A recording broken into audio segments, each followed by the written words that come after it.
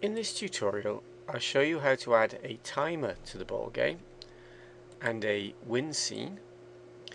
The starting point for this tutorial is the file from the end of the previous tutorial in which I showed you how to use the Blender Global Dictionary. You can make the file yourself or download it from my website.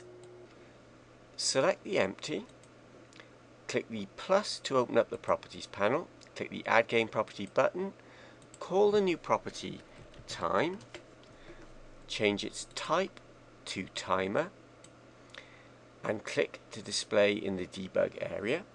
Click the render button and start the game engine. Now we get the time elapsed, but as the level is reset, the timer is reset.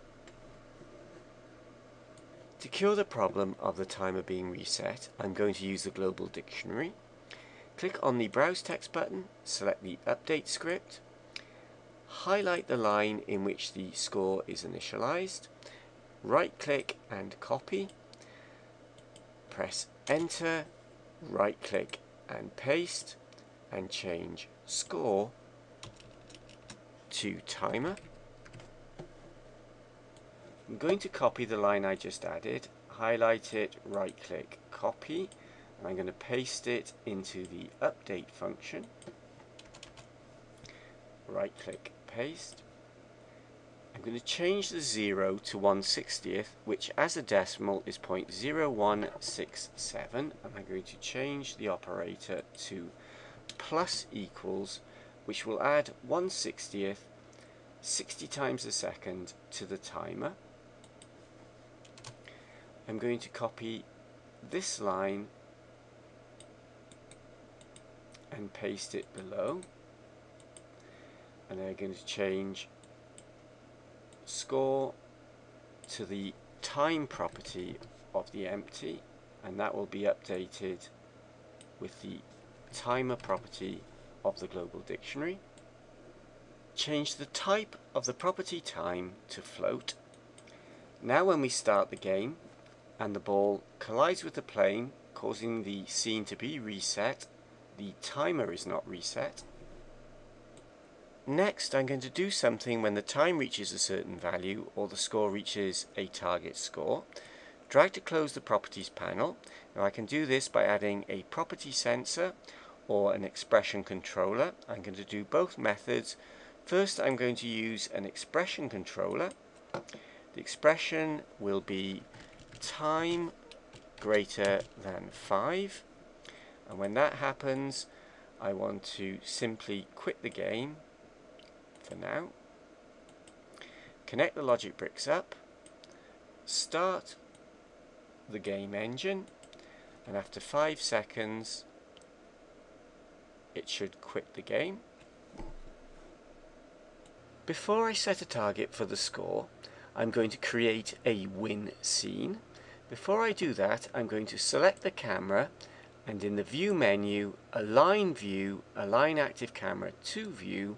Will move the camera so that it sees what we are seeing. Press G to grab followed by Z and Z again. Will move the camera in its local Z direction effectively zooming back. Click the add new scene button add a new empty scene. Call the new scene win add camera, click the object properties and set the Z location to 5 blender units, add lamp hemi, set its Z location to 5, in the view menu change the view to the camera view, change the render to blender game, add text, use the tip of the red arrow to move the text across the tip of the green arrow to move it down a bit. Go into edit mode, delete the text, type U1, back into object mode. In the object menu, convert the text to mesh. Click the Browse Scene button to go back to the original game scene.